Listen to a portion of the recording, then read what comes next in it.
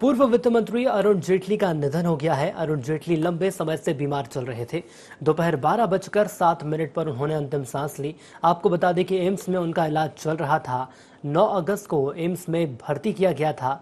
कल अंतिम दर्शन के लिए बीजेपी कार्यालय में उनका पार्थिव शरीर रखा जाएगा। सुबह दस बजे से कार्यालय में रखा जाएगा पार्थिव शरीर और कल दोपहर दो बजे निगम बोध घाट पर होगा अंतिम संस्कार।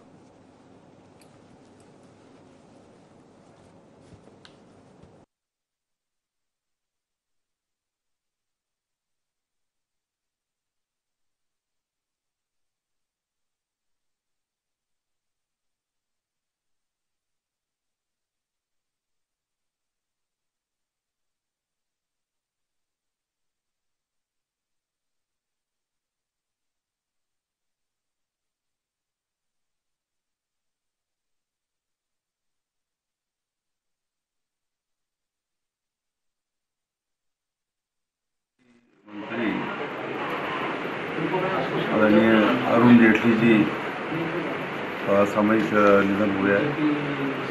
मैं कमलनाथ जी की सरकार की तरफ़ से, कांग्रेस पार्टी की तरफ़ से अपनी तरफ़ से अपनी संवेदना व्यक्त करता हूँ। अरुण जेटली जहाँ एक अच्छे प्रशासक थे और केंद्रीय मंत्री के रूप में उन्होंने चाहे वो वित्त मंत्री रहे हों या दूसरे विभागों के मंत्री रहे हों। उन्होंने बहुत ही संजीदा से अपने कर्तव्यों को निभाया। और मैं समझता हूँ कि बहुत से फैल, फैसले राष्ट्र निर्माण में उनके समय बहुत अच्छे हुए थे। और पिछला उनकी तबीयत काफ़ी दिनों से ख़राब थी और मैं समझता हूँ चुनाव नहीं लड़े। और स्पोर्ट्स में, क्रिकेट में भी उनका काफ़ी योगदान रहा। वो दिल्ली बोर्ड के चेयरमैन भी रहे, अन्य पदों पर भी स्पोर्ट्स में रहे। कुल मिला के एक वर्सेटाइल पर्सनैलिटी थी और एक अच्छे एडवोकेट भी थे। मैं ऐसे नेता को अपने श्रद्धा सुमन अर्पित करता हूँ और ईश्वर से प्रार्थना करूँगा अपने श्री चरणों में स्थान दें कहने के लिए शब्द नहीं। माइक वो मेरे बड़े भाई थे और नैतिक मूल्यों की राजनीति उनके साथ हमने रहकर सीखी थी। वो असाधारण व्यक्तित्व के धनी थे। वो महामानव थे, वो सुपर ह्यूमन थे। केवल भारतीय जनता पार्टी को नुकसान नहीं ये देश की क्षति है, दुनिया की क्षति जिसने जब से हौस संभाला अपने जीवन को समर्पित किया था। भारत माता के चरणों की सेवा के लिए पार्टी के या सरकार के बाद सरकार के पक्ष को रखना होता था। तो जेटली जी से बेहतर कोई प्रवक्ता मिलता नहीं था। विषयों का विश्लेषण करना, उसकी गहराई में जाना और उसकी एक एक चीज़ स्पष्ट कर देना। ये उनकी अद्भुत मेधा का कमाल हुआ करता था।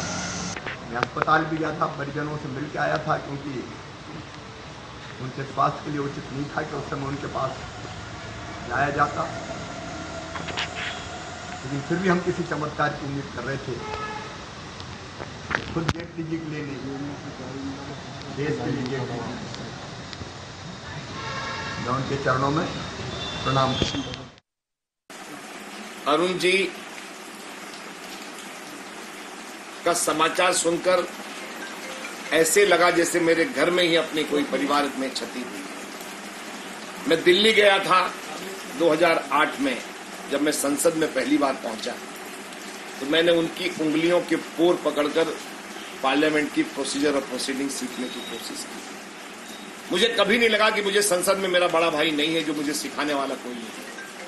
मैं तो कभी पार्षद भी नहीं रहा। लेकिन उन्होंने एक एक चीज़ सिखाई और यही कारण था कि भारतीय संसद में मैं बजट तक पर बोला तो अरुण जी ने मुझे बहुत सिखाया। वो अपने आने वाली पीढ़ी को वैचारिक रूप से मज़बूत करना और विषय पर बोलने के लिए प्रेरणा देते थे और जितने लोग आज हमारे द्वितीय श्रेणी के हैं सेकंड जनरेशन जिसको बोलते हैं, वो सब कहीं ना कहीं अरुण जी से सीखने में और सीख कर आए हुए। सबको गढ़ने की कोशिश की। वो वैचारिक रूप से इतने प्रतिबद्ध थे कि युवा थे और आपातकाल लगा तो जेल के शिक्षों में गए, लेकिन माफ़ी नहीं मांगी। इतने कर्मठ थे और इसलिए न केवल वो अधिवक्ता थे, वो वक्ता भी थे और प्रवक्ता भी थे। मीडिया फ्रेंडली थे। उनसे सीखने आते थे मीडिया के कि इस विषय को हम कैसे रखेंगे। और वो सिखाने में भी विश्वास रखते थे। वो सबके दोस्त थे। लेकिन उनकी आँखों के सामने भारत माता का चित्र रहता था। उसके बाद विचारधारा रहती थी। संसद उनको सुनने के लिए लालायित रहता था।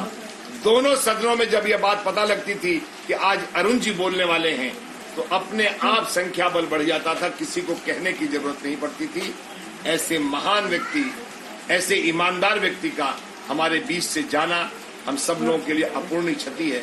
मैं ईश्वर से प्रार्थना करता हूँ कि हे ईश्वर उन्हें अपने चरणों में सदगति प्रदान। अरुण जेटली जी, जी का अवसान। हम भारतीय जनता पार्टी के कार्यकर्ताओं के लिए बहुत दुखद है। उनके जैसा व्यक्तित्व की पूर्ति हो पाना भारतीय राजनीति में और भारतीय जनता पार्टी में मुझे निकट भविष्य में दिखाई नहीं देता। वो ज्ञान के भंडार थे और कार्यकर्ताओं को हमेशा उनका संरक्षण और मार्गदर्शन प्राप्त होता रहता था। मैं जब राज्यसभा में पहुँचा, उस समय वो राज्यसभा के नेता थे और नेता होने के नाते वो हमेशा हम नए लोगों को प्रोत्साहित करते रहते थे और जब कभी आवश्यकता होती थी किसी विषय पर उनके मार्गदर्शन की, वो सदैव हमें सुलभ रहते थे।